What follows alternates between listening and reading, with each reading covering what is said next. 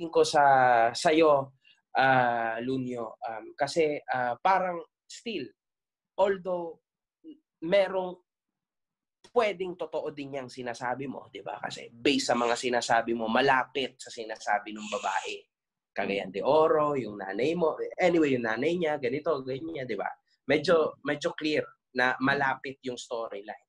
Kaso ang hindi ang hindi nagiging klaro dito is kung sino yung nagsasabi sa inyo na totoo. Kasi yung isa sinisiraan ka, yung isa naman hindi mo naman siya sinisiraan pero parang sinasabi mo na hindi totoo yung sinasabi niya sa iyo sa part na yan. Na wala kang kwentang tatay, na wala kang kwentang boyfriend, na ikaw lang ang may problema. Parang ganun kasi yun eh, di ba?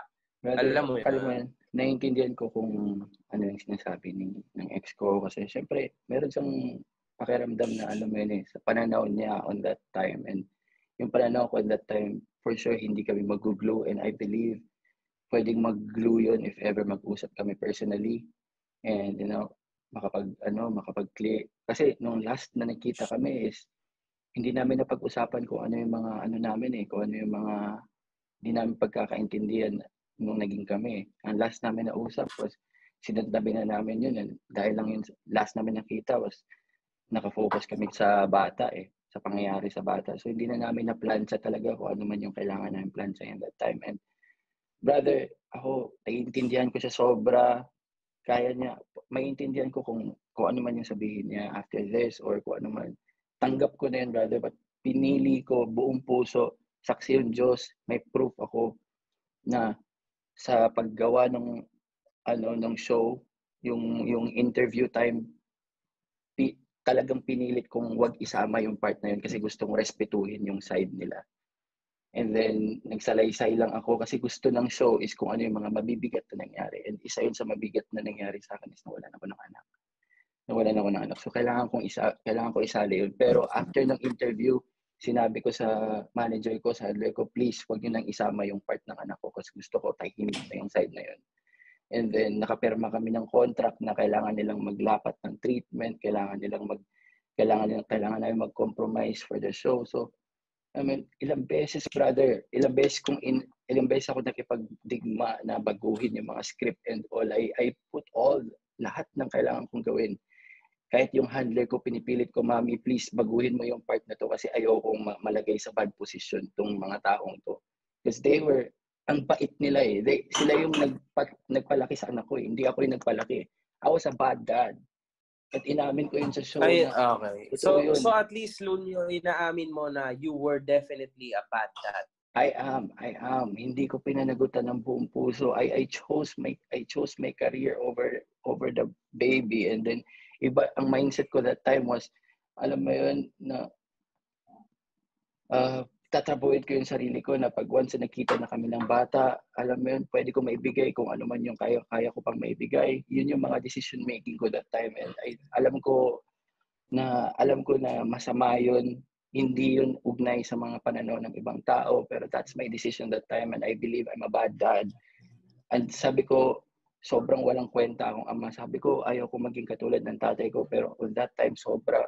Buong puso kong inamin kahit sa show pina-retain ko yung part na yun kasi at that point in time, sobrang laki ng pagsisisi ko na tinrabaho ko nga yung sarili ko pero never ko na naabutan ng buhay yung anak ko.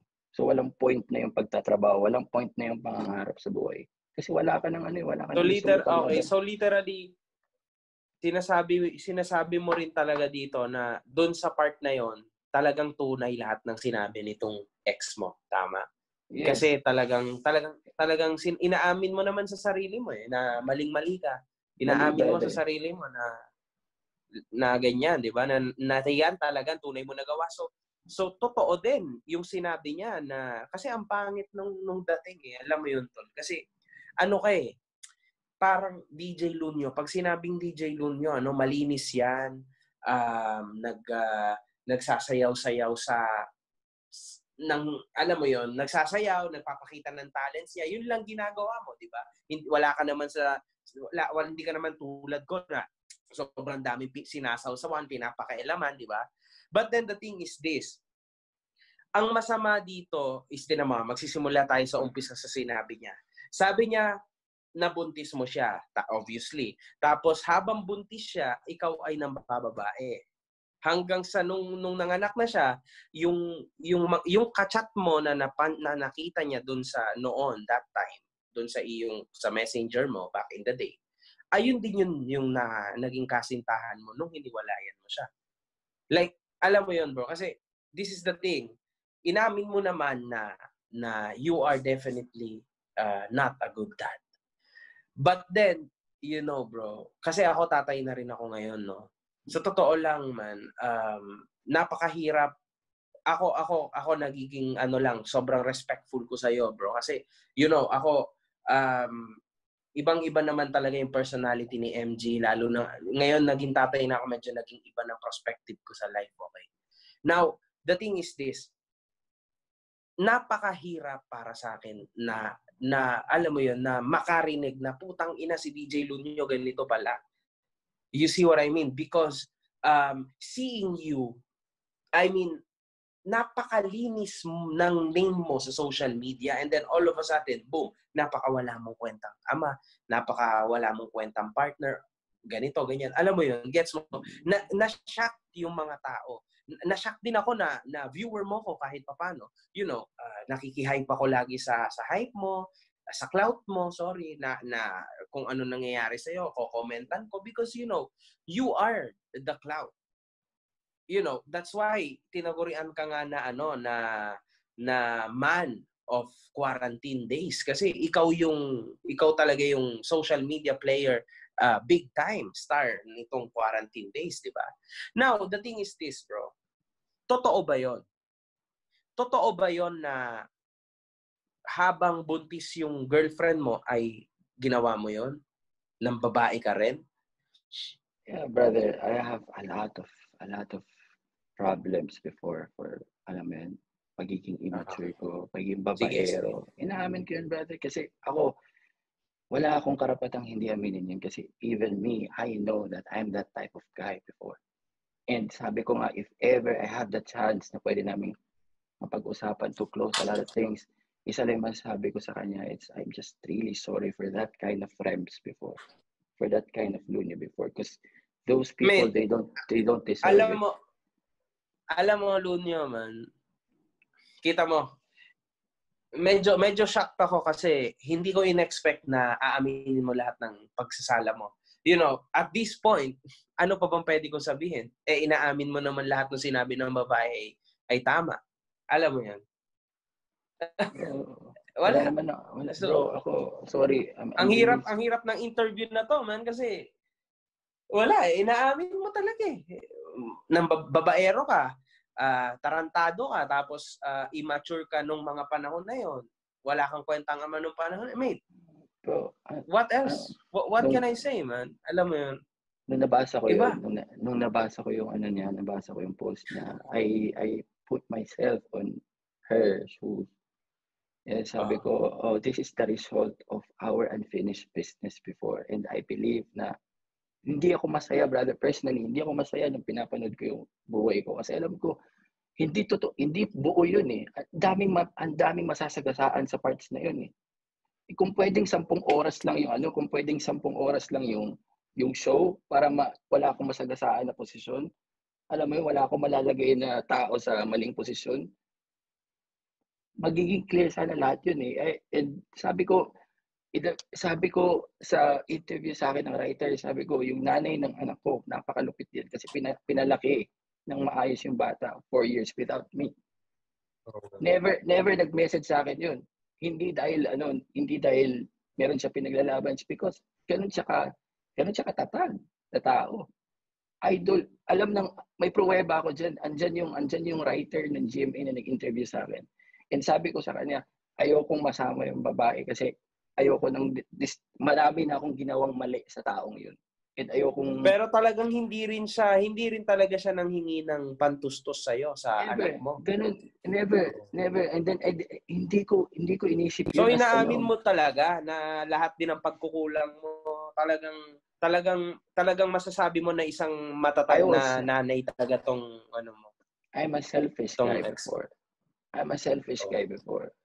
I'm a selfish. Ang iniisip ko is, pangarap lang, pangarap lang, pangarap lang. I need to make it happen. I need to make it happen. I need to make it happen. So sa tingin mo ba, Lunyo, yung pangarap mo is yung pagsikat mo?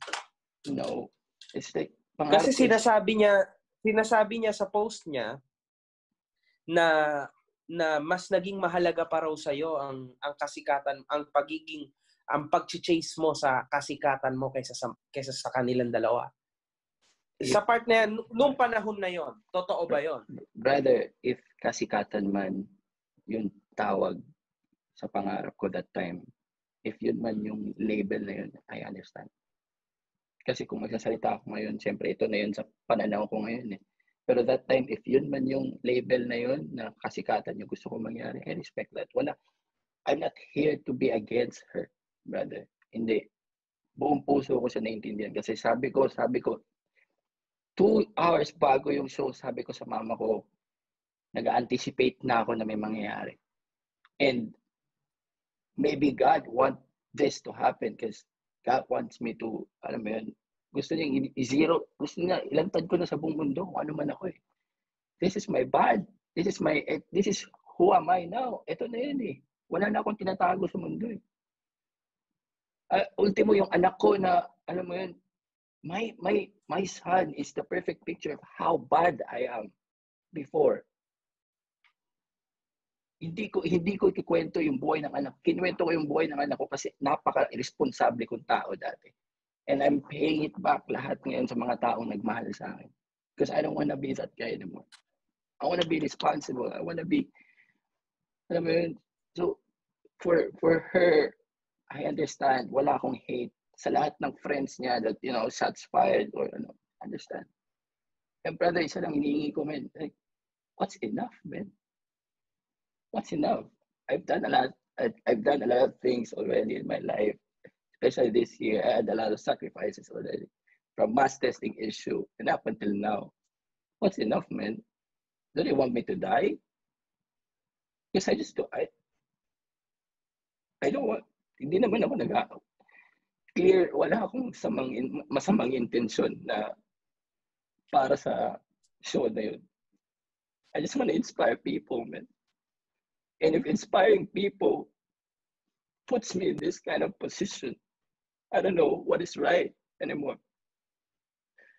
I can't sleep, man. I can't sleep.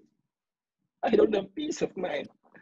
I came back from China because I wanna I wanna pursue what my heart wants me to do. It's to inspire and it's not for money. China is money. China is future. But I want to come back to Philippines. Kasi gusto magpasaya ng tao. Ko magbigay ng inspirasyon. Pero kung ito yung kapalit na mga nangyari, I don't know, man. Ba, wala akong hate sa tao. Wala akong hate sa kung sino man yung nagtapon sa akin ng hate ngayon. I really understand. And it's just that, man, please, enough. Because I, I don't know if I can handle it. It's too much. It's too much. Bro, alam mo ito, ito sabihin ko sa'yo, ah, pero maybe baka nasa baka nasa side ka ng depression, man. This is bad. Alam mo naman na Bro, it's too much. may man. hindi ko ina-expect na akala ko akala ko kasi you you were a tough guy dahil sa mga tattoo mo akala ko may kipagsagutan ka sa akin dito man but you know medyo medyo na na shocked ako sa sa sinasabi mo na to Bro, wala, wala akong may pagmamayabang, bro. Swear to God. Isa lang may pagmamayabang man. Kung ano yung nasa puso ko ngayon. Hindi yung kung ano nasa puso ko dati. Yung nasa puso ko ngayon is just, man, I just want peace. I just want love. But if, thank you for this platform because sabihin ko buong puso, papasori ako sa ex ko. Kung ito man yung way, gusto ko mag-usap kami personally to, alam mo, para maibigay ko kung ano yung kalinisan, yung sagot sa lahat na nangyari sa amin. I would, I would do that. bro But, but for now, man, it's like, medyo medyo na medyo alam mo puta hindi hindi dapat ganito yung interview natin kasi ah, na, nagulat ako dahil umiiyak ka pa man na ibang iba to kaysa sa naging interview ko last week dun sa nag-viral din Bro, I never Shit, cried, bro. Bro, I never cried for that mass testing issue, bro. But for now, it's like when you put when you put yourself in in that level, and then despite the fact that your intentions were very clean, my handler knows about it, kung paano ko pinaglaban yun na walang masasaktan. And then there you are right now, like, fuck, man, I don't know, I don't want to go out, man. And my intention Bro. was just to inspire people, man. My, ins- Bro, my intention oh, sige. just, Bro, ito, ito sabihin ko, sabihin ko lang sa'yo ah, kasi puta, man. Ako, magsasalita na ako bilang bilang Jason okay dito. Kalimutan mo na si Makagago. Pero ito, um, uh, Lunyo, ah, sa totoo lang, nakikita ko na medyo depressed ka, bro. For real. Ah, sa tingin ko, um, ah, you know, you, you need help. So, alam mo, it's never too